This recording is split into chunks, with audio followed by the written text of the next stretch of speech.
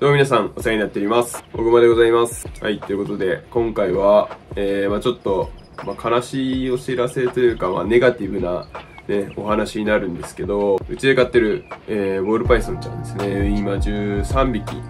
13匹のね、ボールパイソン飼ってるんですけども、まあその子たちのお話で、まあその子たちっていうか、その中のね、えー、1匹なんですけど、ちょっとね、えー、体調を崩してしまいまして、1ヶ月からまあ1ヶ月半前ぐらいかな。から、えー、ちょっとね、しきりに口を開ける仕草をしてたので、まあちょっとね、様子おかしいなと思って、えー、経過をね、観察してたんですけど、それでね、えー、1ヶ月間の拒食もあったので、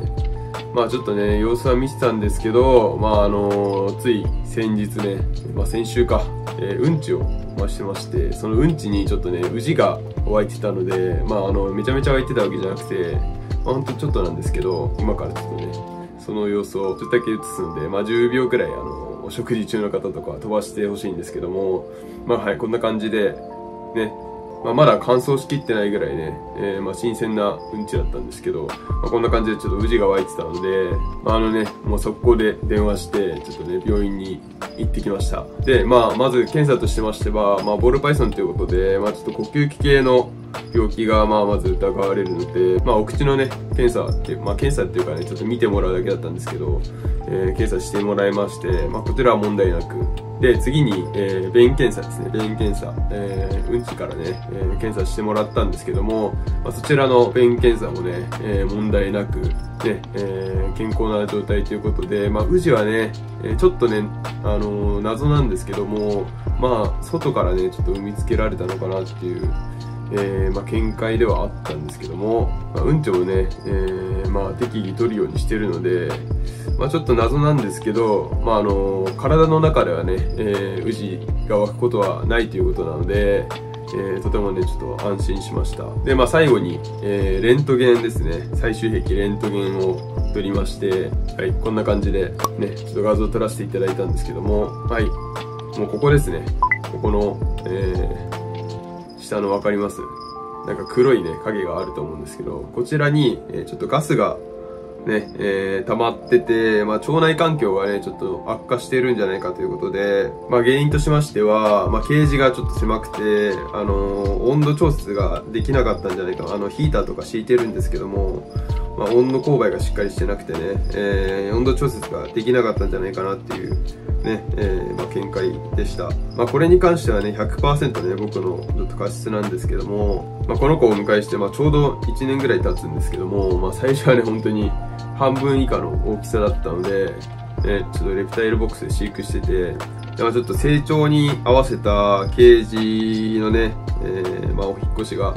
できてなかったというところで、まあ、他の子たちで成長早い子はね、えーどんどんあのケージ変えてってるんですけど、まあ、この子はね結構あのここ1年で、まあ、倍ぐらいの大きさなのでちょっとゆったりな成長だったんで、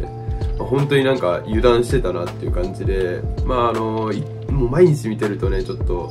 えー分かりにくいと思うんですけどもあの今一度ね、えーまあ、ケージの大きさと生体の大きさ照らし合わせて皆さんも飼育環境をね見直していただければなということでまあちょっとこの動画をねまあ本当に僕の失敗を交えてね、えー伝えていけたらなということでね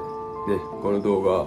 出しております。でこの子の治療に関してなんですけどもはいこんな感じでレプタイルボックスでねちょっと飼育してたんですけども今後はこちらのね、えー衣装ケースでね穴を開けて、めちゃめちゃさっきね洗ってきて、ねえーペットシーツを敷いて、はいまあ、こんな感じのね衣装ケースで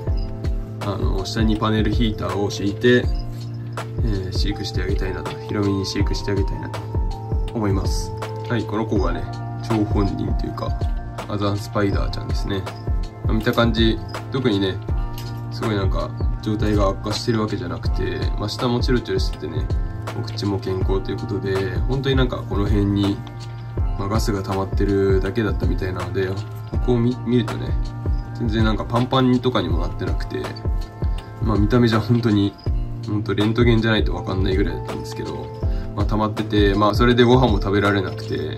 あのうんちもねちょっと詰まってたということだったのでこちらの抗生物質をいただきまして、まあ、これをね、え2週間毎日ね、え飲ませてあげる。で、まあどうやってね、飲ませてあげるのかというところをね、まあ、せっかくなんで今日、ね、飲ませるところも撮っていきたいなと思います。まあ、ボールパイソンちゃん持ってあげまして、こちらの可愛いお顔をね、下唇をニュッてやりまして、ここにね、垂らすだけで、はい、飲んでくれるみたいです。はい、おりこさん。はい、もうこれで終わりですね。まあ、この抗生物質がね、どんな味するかちょっと皆目見当もつかないんですけども、はい、まあ、あとね、2週間ぐらい頑張ってね、飲んでもらおうと思います。良くなったらね、ご飯も食べるみたいなんで、ご飯食べたらね、もう改善したということでね、大丈夫らしいです。まあ、今回はね、本当にちょっとだけ様子がおかしくて、まあ、たまたまなんかね、うんちにうじが湧いてて、まあ、それでちょっとね、病院に行かせてもらったんですけども、まあ、それでね、えー、あの、ガスが溜まってるということで、まあ、異常はあったので、まあ、皆さんもね、少しでも様子がおかしいなと思ったら、ね、えー、まあ、専門の爬虫類見てくれるね病院に行くことをねおすすめします。はい。まあこんな感じでね、えー、ちょっとね治療をしながらまあ、そんなにね、あの、重症でもなかったので、まあ、ガスが抜ければなというところですね。あと、腸内環境の改善ですね。まあ、皆さんもちょっとね、気をつけて見てみてください。本日もご視聴いただきありがとうございました。また次回の動画でお会いいたしましょう。さよなら。うん、バイバイ。